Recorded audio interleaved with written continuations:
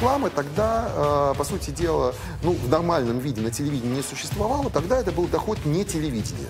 Это был доход вот этих вот полулегальных производителей программ. Это премьер СТ на секундочку. То есть э, С это Сергей Лисовский, а В это Владимир Жечков. Володь, ну дай дадим. Ты не понимаешь. Ролик заранее нравится. Не ему, конечно, а рекламодателю. Вы объединялись в рекламу холдинг в 94 году, чтобы централизованно продавать рекламу на канале. Да. Но не получилось.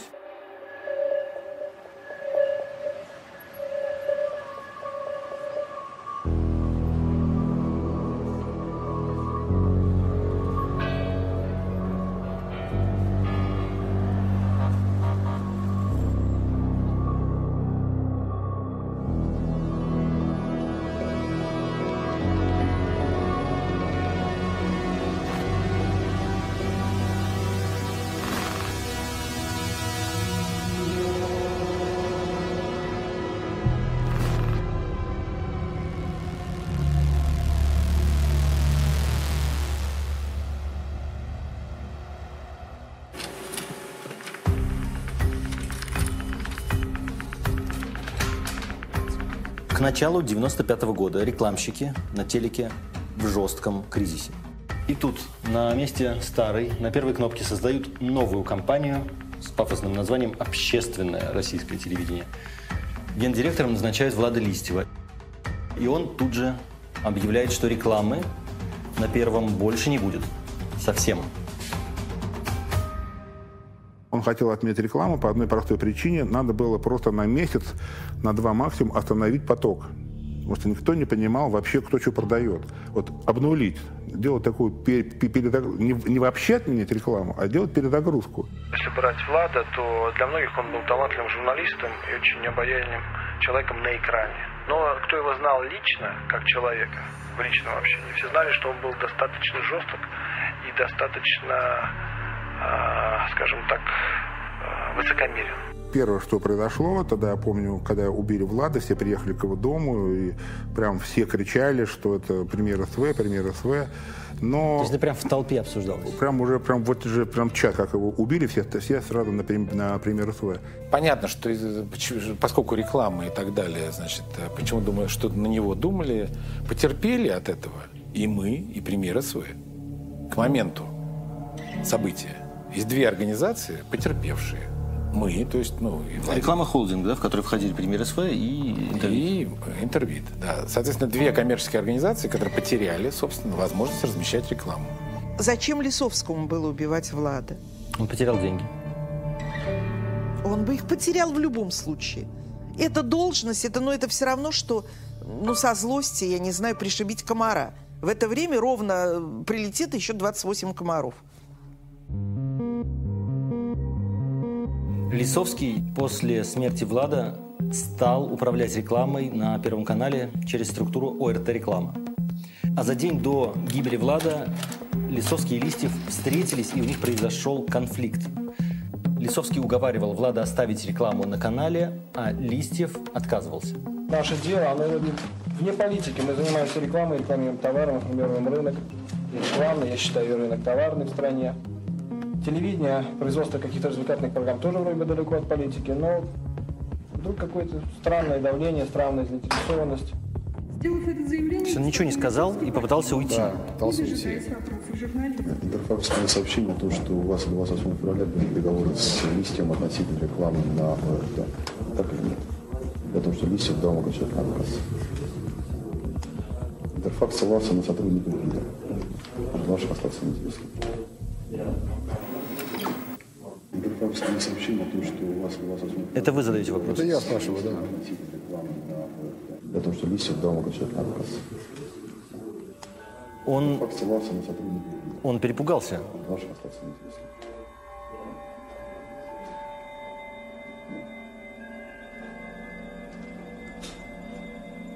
Меня все-таки удивляет вот ваше непонимание ситуации. Ребят, вы же еще молодые. Вы себе делаете жестоких людей? Я могу ответить на все ваши вопросы, они будут убедительны и так далее и тому подобное. Но просто я считаю, что ради памяти этого человека даже не хочу это сейчас обсуждать. Я считаю неуважением к нему. На мой взгляд, конечно, уважение к нему эти вопросы было бы обсуждать. Потому что только из уважения к нему э, нам пришлось это, все эти расследования проводить. Вы э, спросили у него как раз э, о той встрече, которая Да. была как раз накануне убийства. Да, да.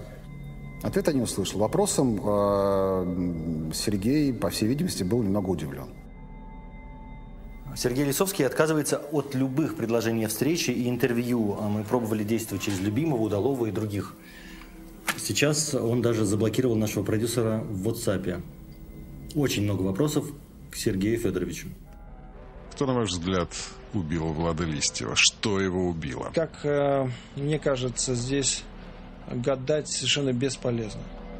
Но это могло быть связано с переделом рекламного рынка крупнейшего Совершенно канала. Совершенно, потому что все, кто жил в то время, прекрасно знали, что в то время он никак, никоим образом не влиял на это.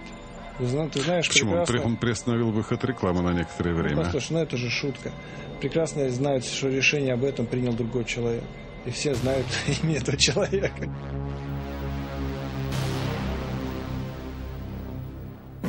Что мы знаем? У Лисовского нет мотива. Решение о запрете рекламы принимал Борис Березовский, первое лицо на новом телеканале.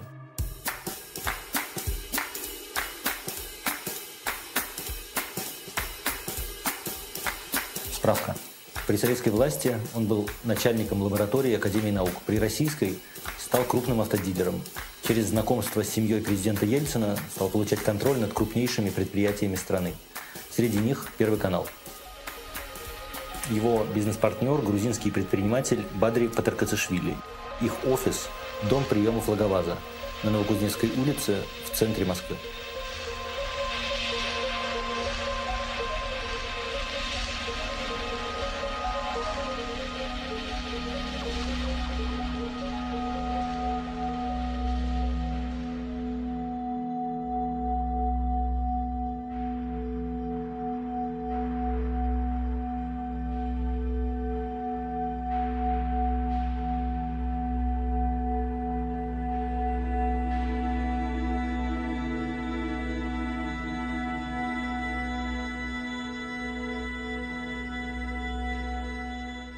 Кстати, я когда, я когда в Молдавию гонял, у меня ну, туда ГСМ, Бенц, обратно, сумки с баблом. У меня был партнер. Да, мы на, на бирже с ним познакомились, Ромкой звали. Он с березой нормально потом поднялся. У них Сибнефть такая компания была. Да, ну, мне чуть-чуть меньше повезло. Да, ГСМ – норм тема. У меня папа этим занимался. Когда Листьев с Березовским подружился, я так понимаю, что Когда Логоваз, э, Логоваз у нас рекламировался, э, на поле чудес э, были машины. это приза. были машины Березовского. Да, это были машины Березовского. И расплачивались тоже машинами. Вот у меня была машина Березовского. Причем была эту машину, просто как бы сказал, вот тебе машина. Мне однажды позвонил, представился, что он с Логоваза. Я сказал, слушаю, и скажите, Ленечка, на телевидении деньги есть? Я говорю, в каком смысле? Ну, вот сейчас реклама начинается, это деньги? Я говорю, конечно. Обратите внимание, вот это все предоставил нам Логоваз. И вот там мы уже познакомились близко, коротко с, с Бадри. Появился Березовский. Бадри вдруг образовался э, зам генерального директора. Происходит акционирование Первого канала. Я знал, что в этом принимает активное участие Борис Абрамович Березовский со своей командой. Для чего он акционировал э, ОРТ? Для извлечения максимальной выгоды из этого проекта. Потому что этот канал ему нужен был и для того, чтобы удерживать э, в своих руках какую-то власть. Он ведь всю жизнь стремился к теневой власти в стране. Э, Ведь ОРТ – это курочка, которая несет золотые яйца. Он мог использовать э, телеканал для решения любых проблем. Страна готовилась к выборам 96 года, это понятно, да? Ситуация была тяжелая, а перспектива была непонятна. Первый канал, как мы помним, э, пожалуй, был единственным каналом на тот момент, который, э, сигнал которого принимали во всей стране. Во всей стране, без исключения. А, и, конечно, было понимание, что тот, управляет э, Первым каналом, управляет страной. Березовским, который вечно суетится, бежит куда-то, значит, звонки там в 2 часа ночи, Саша, при- приезжай срочно, там, э, значит, приезжаешь там, а там очередь, значит, до 8 утра, а потом тебя говорят, «Ты не успели поговорить, да, да, давай садись в машину, в машине поговорим, мы едем в аэропорт, там, по дороге в аэропорт звонки, он- мы не успеваем поговорить, мы садимся на его самолет, он летит в Лондон, мы говорим в самолете, потом выясняется, что у меня нет паспорта. Извините.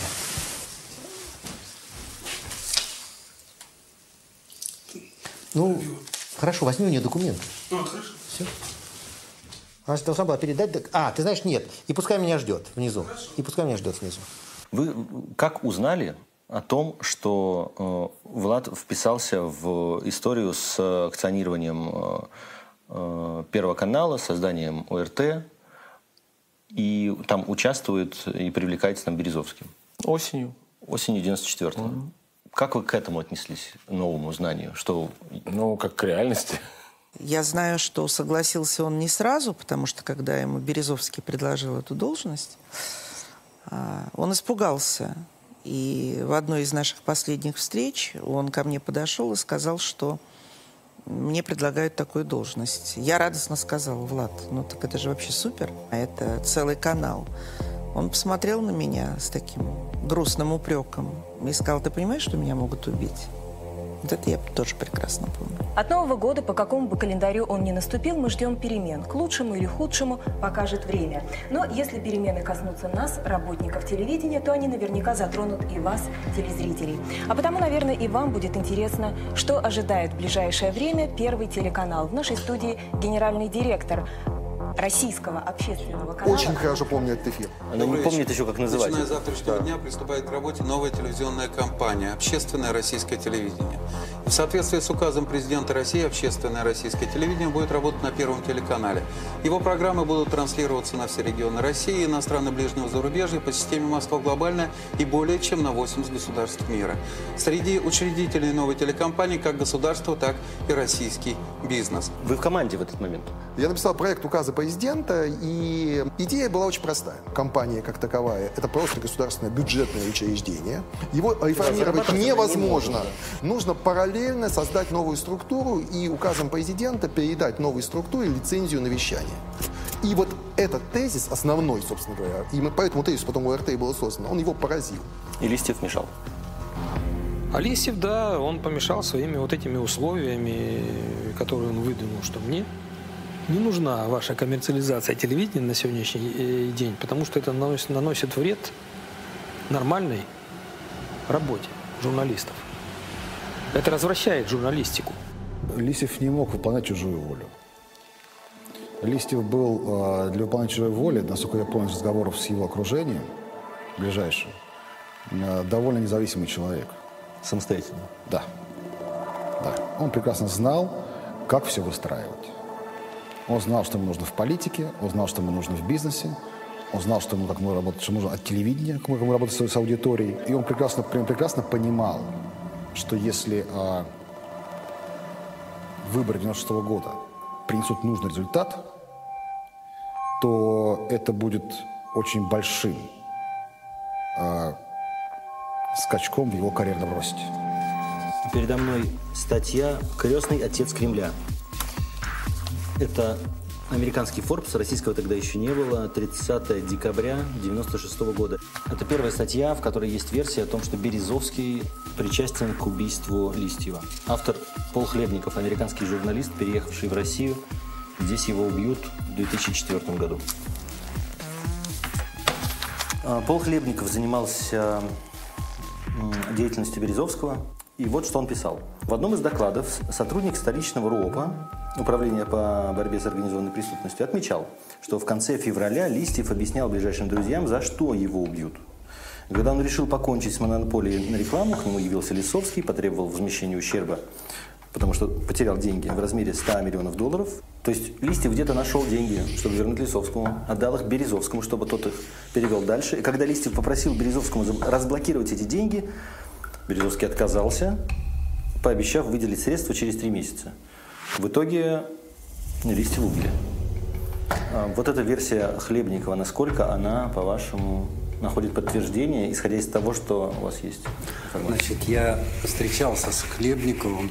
Он мне сказал, что это вот какие-то мнимые участники расследования, которых он выдавать не хочет. И это все проверено, но он мне о них ничего не сообщит. Русское общество в то время было отравлено коррупцией, там, воровством, бандитизмом, нигилизмом, семьи распадались, пьянство. И я думаю, именно из-за этого исходит э, феномен все- всего того, что мы видели в 90-х годах. Хлебникову потребовались э, дополнительные сведения, которые бы сделали более прочной его позицию в суде. Почему он пришел именно к вам? Мы собирали информацию на тех людей, которые могут быть интересны, потенциально интересны. И Березовский относился к этому кругу людей, поэтому у нас была обширная справка составлена на этого человека. Если вы занимались контрразведкой, то это значит, э, вы брали информацию у неких своих агентов. Ну, в том числе. В том числе. Там не, не только, там и информация получена по другим каналам, и оперативно-техническим. Это прослушка? Да не только прослушка. Э, И даже от зарубежных источников. Тех фактов, которые сейчас есть, достаточно, чтобы утверждать, что э, Березовский заказчик убийства Листьева? Ну, я для себя такой вывод сделал. И сделал уже давно. Очень близко общались Листьев и Березовский в последнее время. Они виделись накануне, если я не ошибаюсь. Да, они виделись э, буквально в ночь с 28 февраля 95 года на 1 марта, то есть на день убийства Влада. У них была очень долгая беседа, о чем Борис Абрамович ни, ни слухом, ни духом не хотел говорить. Что касается Березовского, он скрыл о том, что была встреча накануне убийства.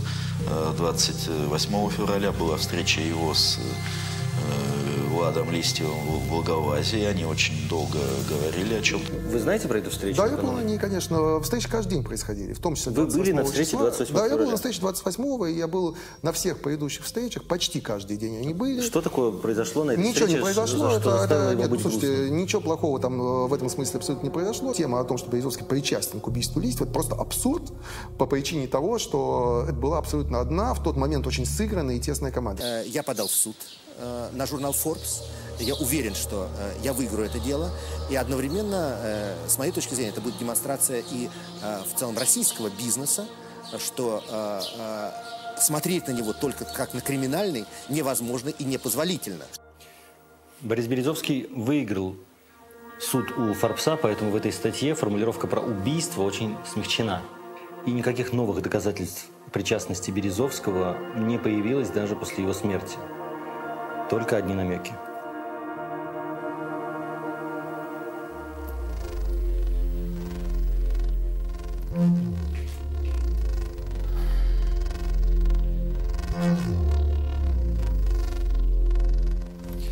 Сейчас час 39 ночи, 8 января 2020 Я уже полгода в этой истории и нахожусь в той же точке, с которой стартовал. Ну окей, начнем сначала. А взгляд сгнил изнутри. Пока вот я занимался этими серьезными делами вместе с моими корреспондентами, появились люди, которые стали на взгляде зарабатывать. Бабки любой ценой. И э, этого не избежал и э, мой ученик, это Владик Листьев. Я вызвал его... Листьева?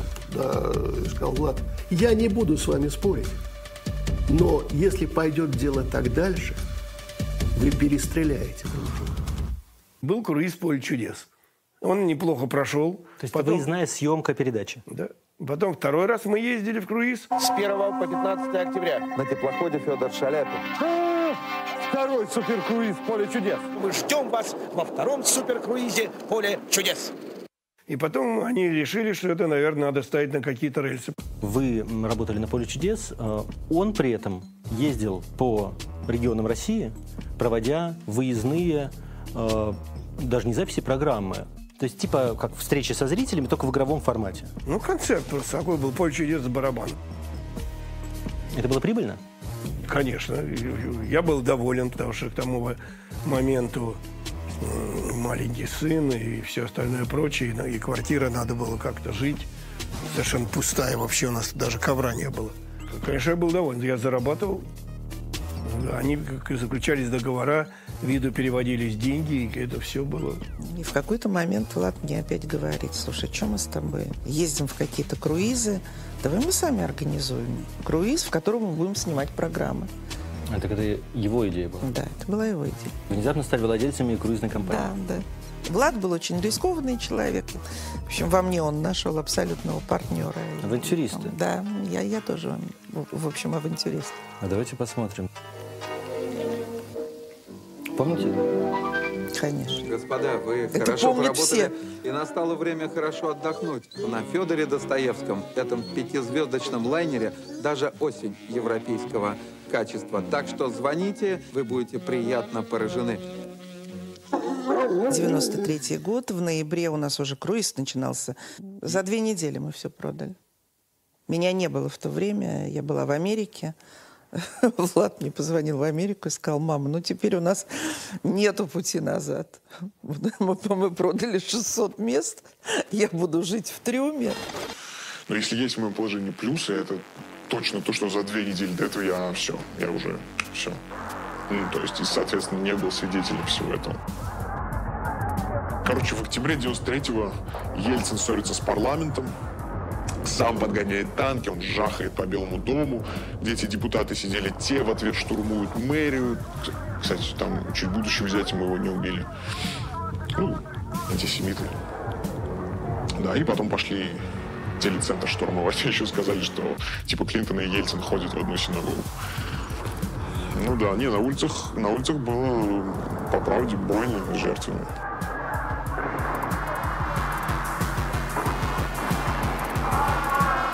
Нас уже все было готово, мы уже все продали. Влад сидел где-то на даче, мобильных телефонов не было, а я, как завороженная, смотрела в телевизор и э, молила Бога, чтобы не разнесли кабинет Влада, потому что там стоял сейф, а в сейфе лежали все наши деньги.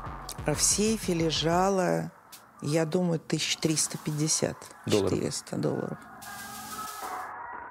А вы помните, сколько вы заработали на этом круизе первом? А Влад купил квартиру, как раз около которой его убили.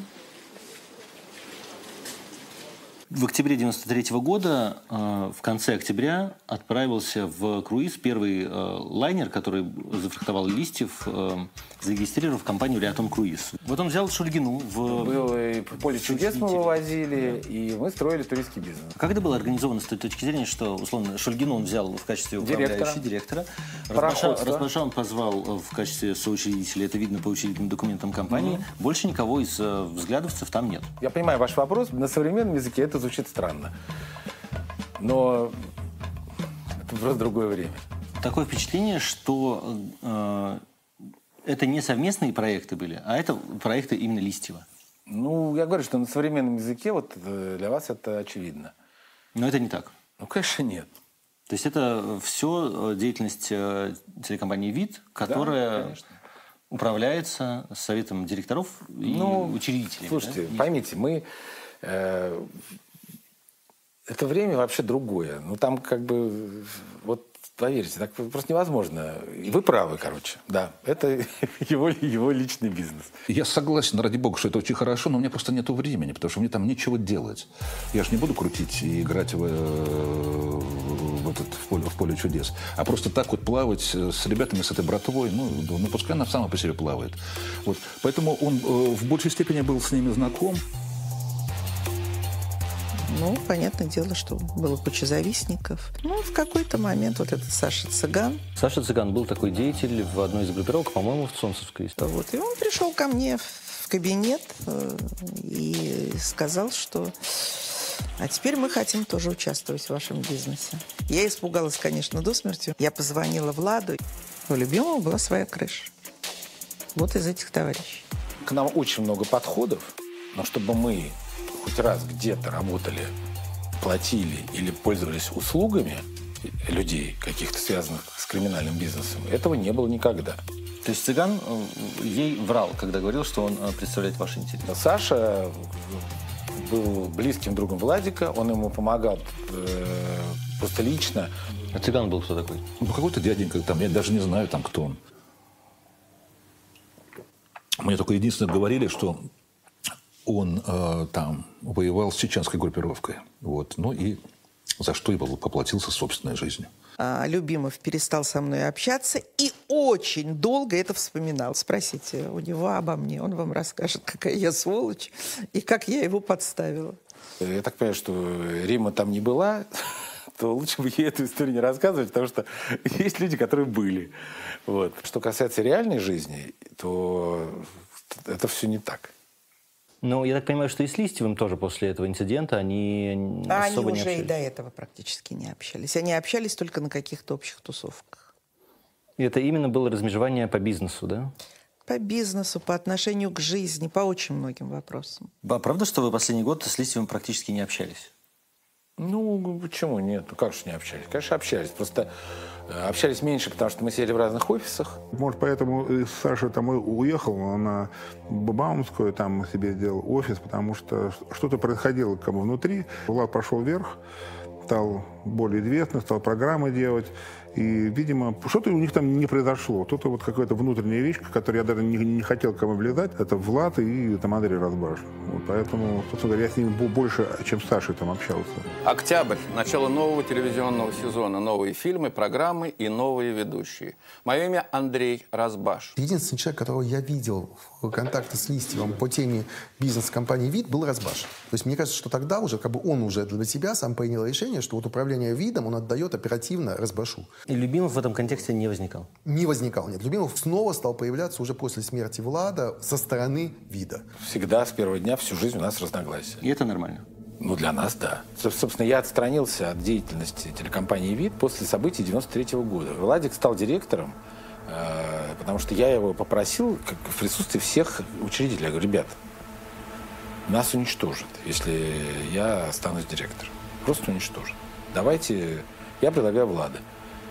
Вот, он согласился. В какой-то момент оказался в полном вакууме. Потому что, что удивительно, да, что все те, с кем разговаривал, все, нас- да, все называли его иконой, да, все называли его там рок-звездой, но никто ни о нем не сказал ни одного хорошего слова. Они относились к нему все очень формально. Вот меня, честно говоря, там, да, это очень удивило. Коммерсант написал про меня. И более того, при мои не- неоднократные звонки в, приемную главного редактора, чтобы люди объяснились или, может быть, извинились, никто меня даже не соединился. В чем была ваша выгода, по их мнению? Потому что у меня единственное есть алиби. В Египте я был.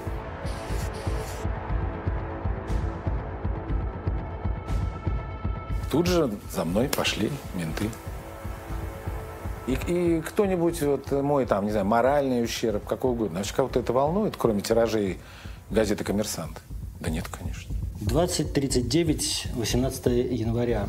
Александра Любимова допрашивали, но не нашли даже мотив. Ведь доля Листьева в бизнесе после его гибели отошла не Александру Любимову, отошла вдове Листьева Альбине.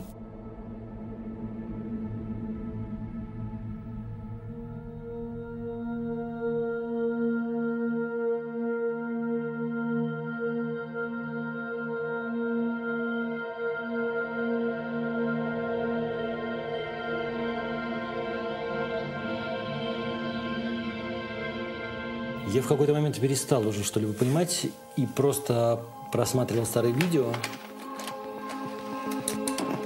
и обнаружил, что в знаменитом объявлении о создании ОРТ Владом Листьевым есть фраза, которой я раньше не придавал значения. Начиная с завтрашнего дня приступает к работе новая телевизионная компания «Общественное российское телевидение». И в соответствии с указом президента России «Общественное российское телевидение» будет работать на Первом телеканале. Его программы будут транслироваться на все регионы России, иностранно ближнего зарубежья по системе «Москва глобальная» и более чем на 80 государств мира. По системе «Москва глобальная» и более чем на 80 государств мира. Что такое система Москва глобальная? Спутниковая система, это позволяющая система раздавать сигнал. сигнала Да, да, позволяющая раздавать сигнал, и ее, этот сигнал как бы получали в основном кабельные вещатели по миру. Вот. И на коммерческих условиях они получали права, доступ на распространение внутри своего пакета программ. То есть люди там в Израиле получали возможность видеть э, первый канал в его международной версии. Местный вещатель туда мог вставлять просто свой э, как бы конкретный рекламный блок. Там есть пометка OITV. Останкино International Television. Помню, что был такой бренд. Как раз он и получил право или лицензию какую-то да, на, на работу по системе Москва глобальная. Это Трансляция из Москвы на весь мир. Для ретрансляции OITV по кабельным сетям, пожалуйста, звоните. OITV – это ребята, которые транслировали сигнал Останкина в Израиль. Этот сигнал им отдал человек, который создавал рекламу холдинг вместе с Лисовским. Это зампред Останкина Александр Дмитриев. Это имя ни разу не упоминается в статьях о деле Листьева. Может, зря? Это 17 августа 1994 года. Как раз вы работаете в рабочей группе по подготовке Это правда. Новой телекомпании. А Лисовский занимается в этот момент э, рекламой, и по этому поводу к нему приходят двое сомнительного вида таких э, людей.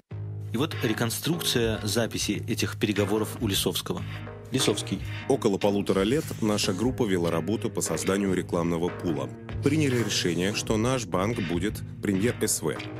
И вдруг Дмитриев ни с того ни с сего говорит, будет Пикомбанк. Юрий. Мы тебе хотим сказать, что в принципе мы в этих людях заинтересованы. И, естественно, мы заинтересованы в банке. Миша. Дмитриев не был наш. Он стал наш, когда завязалась вся эта программа.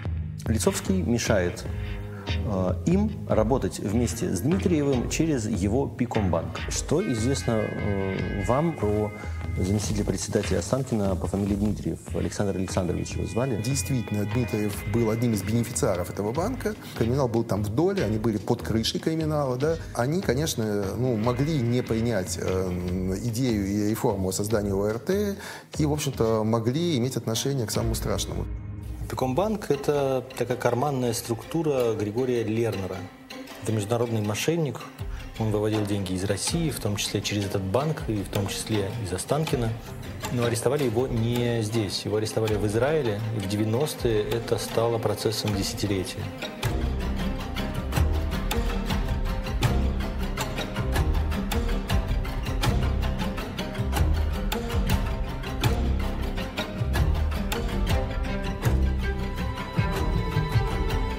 Занимаемся делом Листьева и наткнулись на фамилию Лернер. Да, это было уникальное расследование. Такого не делали нигде в мире. Потому что в начале 90-х годов произошли вещи, которых не было в истории преступности. Мафия в России установила контроль над ключевыми сегментами экономики, в том числе и над банковской системой. Они вывезли за границу сотни миллиардов долларов. Они могли подкупить любую политическую структуру в мире.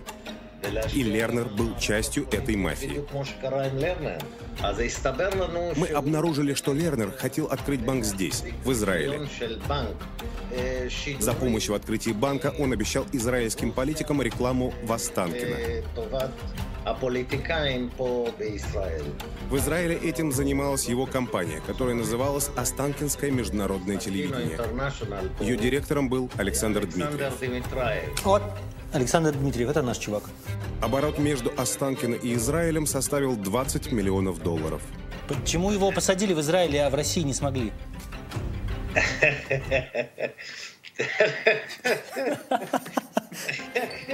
Что я могу тебе сказать? Такой следователь, как я, вообще не смог бы выжить в России в то время. Да, это, это очень важные слова. 13.23, 21 января. А что смогли сделать следователи, которые выжили в России? Григорием Лернером по делу Листьева никто не занимался, и против него здесь нет даже уголовного дела. А в связи с Листьевым задерживали а, самопровозглашенного казачьего атамана из города Дмитров Московской области Михаила Филина. и бригадира солнцевских бандитов. Бригадир – это такой криминальный проект-менеджер. Игорь Дождомиров его звали. Но после того, как обоих задержали, не смогли доказать их причастность к делу Листьева и отпустили. А оба были связаны с Сергеем Лисовским. Смерть самого известного журналиста не расследована спустя 25 лет. Никто не понимает четко, что произошло. Ну, это просто как бы...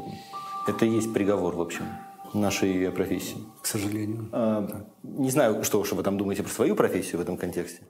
Я, допустим, э, я понимаю э, вот эту ответственность. И понимал и тогда. Вы спрашиваете опять же о причинах. Причина, блин, там прямое предательство было. Э, Причем с стороны самых высокопоставленных представителей э, нашей и элиты и в погонах, и без погон. Кто-то переобулся. Ну, конечно. Кто-то хорошие деньги, наверное, зарабатывал. Информирует людей, прямо тащат эту информацию и говорят, вот по тебе работает, по тебе это, будьте аккуратны, там это. Причем люди с большими погонами делали это. Э, Руководители, крупные, первые руководители ведомств. 13.39, 23 января. Но это хроники отчаяния. Одного начальника опергруппы насмерть сбила машина. Остальные опера на отрез отказываются общаться с журналистами, хотя ведут блоги на Ютубе. Кто-то сливает информацию через сайты компроматов. Один из начальников следствия вообще много лет не общается просто ни с кем. А менты, которые помогали Листьеву, их 20 лет назад посадили за коррупцию, и сейчас они вышли и выращивают страусов. С кем тут вообще можно разговаривать? Так, кто еще у нас остался в следственной группе? Давай, чувак, давай, давай. Вы входили в следственную бригаду по делу об убийстве Влада Листьева. Я был в этой группе. Я вышел на убийство Лавровского Дмитрия Львовича.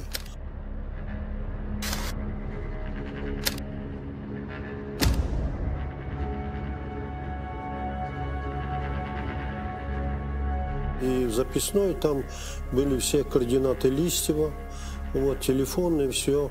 Они дружили с семьями. Дружили, в полном смысле слова. Ну вот мы добрались и до моей части истории. Друзья называли меня в шутку бензоколончик, но можно просто Митя. Влад Листьев был моим другом. Нас познакомила его жена Альбина.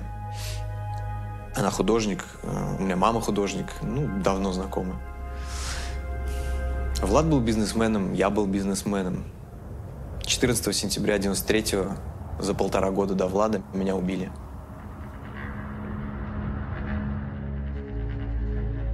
Он в этот день э, вот, э, лег пораньше спать, собрался э, утром уезжать, и вдруг в, эту, в квартиру звонок. Я накинул халат, пошел открывать. Я смотрю в глазок, там на лестничной клетке мужик. Говорит, откройте милиция. Ну, я думаю, чем мне с ментами спорить. Открыл и как-то в суете, что-то туда-сюда, и я смотрю, у одного из них пушка. Наган, блядь.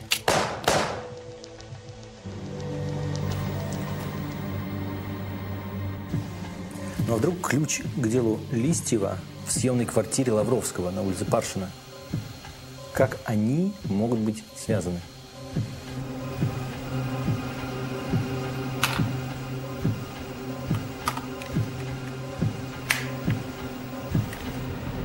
Ты видишь, синяя машина во дворе стоит? Да. Видишь, меня нет, а она стоит, значит, по твою душу.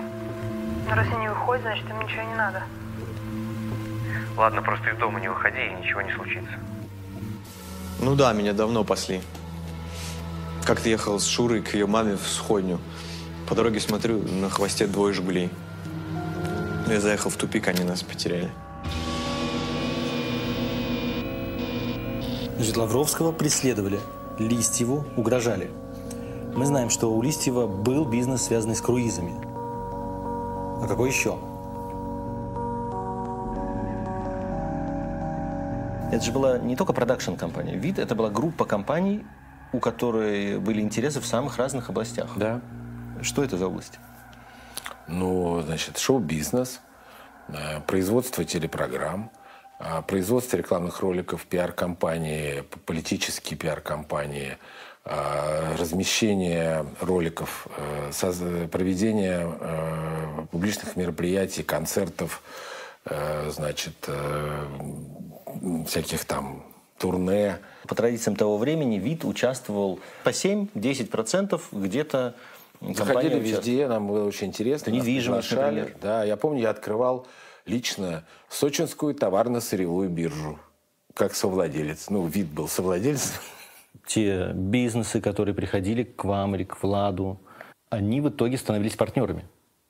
Такое было? Ну, Я знаю, что он входил, что у него было казино Орликина, он какой-то там имел... э, Долю. Какую-то долю имел. Были какие-то рестораны, что-то было еще. а, Что-то у него было с Березовским. Он сам вряд ли занимался бизнесом. Ну, видимо, его люди выбрали, использовали, платили ему какие-то, видимо, э, проценты за эту услугу, и все. Ну, как посредника.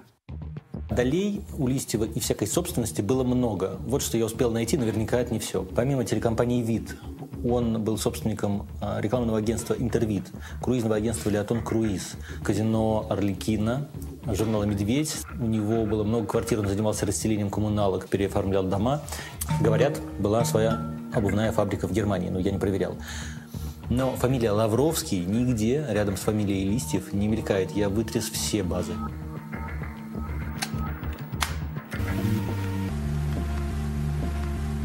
Мам, привет. Кажется, за нами следят. Машины уже уехали? Меня это очень беспокоит.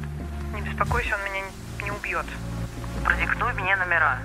Да, 7896 ММХ и 7897 ММХ. Жигули.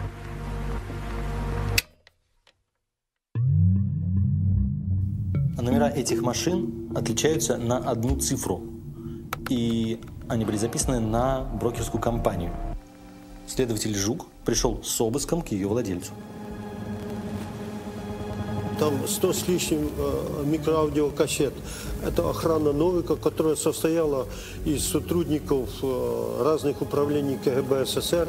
Они скрупулезно все писали, фиксировали. Все разговоры, которые поступали на телефон Новикова, все фиксировалось абсолютно. И ему передавалось. Вот. Но охрана была в курсе всей жизни и нормальной, и преступной Новикова. Этот Новиков, наверняка неизвестный вам бандит из 90-х, меня и убил. Ему не понравилось, что я там ехал и на светофоре случайно познакомился с его любовницей.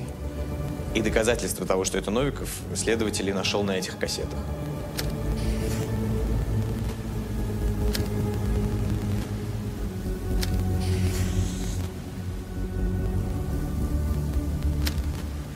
Но 25 лет ни моя семья, ни мои друзья, ни мои партнеры не знали, что со мной произошло. Спасибо. А теперь пришло время назвать себя, кто ты на самом деле. Представься. Я Данила Чанов, актер. Конечно, я никакой не Лавровский. Я его только сыграл, а роль написана на основе единственного документа, который от него остался. Это уголовное дело о его убийстве и на основе воспоминаний его друзей. Больше от него ничего не осталось, поэтому единственный способ рассказать его историю – это сыграть ее.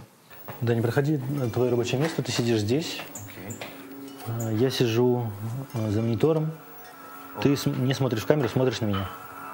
Сейчас, вот сегодня, от каждого из нас остаются цифровые следы. Это запросы в поисковике, селфи, геолокации. А Лавровский и Листьев, они люди еще из того времени, когда память о событии или о целом человеке можно было полностью стереть. И вот как стирали память о Лавровском. Итак, следователь арестовывает предполагаемого заказчика убийства Андрея Новикова и отправляет его под арест на время следствия. Вы Новикова арестовали даже. Он мне заявил, Анатолий Прянович, раз мне не удалось найти общий язык с вами, это дословно, я найду общий язык с вашим руководством. В итоге Новикова отпустили. Это был вопрос нескольких взяток. и вместо подозреваемого в убийстве сажают следователя. Так история Новикова полностью переписана, а история Лавровского просто стерта. С Листьевым было сложнее. Когда я был под стражей, и дело рассматривалось в суде, однажды в камере я находился с одним арестованным, оперативный сотрудник Таганского РУВД. Участвовал в оперативной группе по расследованию дела об убийстве Листьева. Мы, говорит, накопали целый ряд доказательств, потом эти материалы дела, листы вырывали уничтожали. Они все делали для того, чтобы оно не, не расследовалось. Результата и не должно было быть положительного. И все.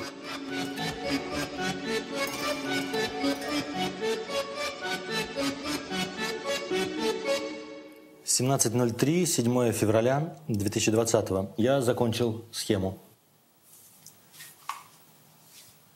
Я могу собрать на стене все эти цепочки лиц, фактов, событий, компаний, но в уголовном деле не так. Допрос должен провести следователь. Прослушку должен санкционировать суд. Все документы должны официально фиксироваться. И если в уголовное дело что-то попадает по горячим следам, а потом это кто-то уничтожает, то это нельзя восстановить, нельзя распечатать из облака и прикрепить вот так на стену. Так было и с делом Листьева. Слишком много пустых страниц, на которых должны быть связи, которые помогли бы назвать имя убийцы.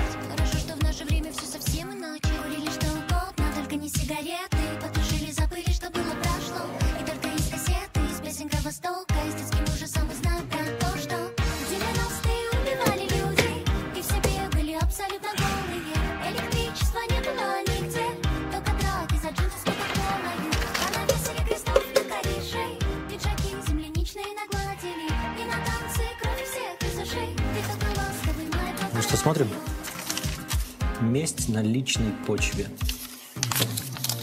Бандиты, казино. Любимов.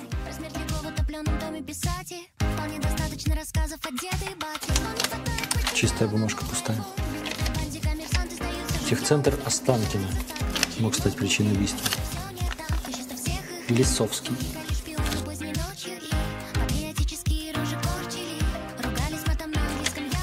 Обманутый муж. Еще одна пустая. Лисовский и Березовский. Двое.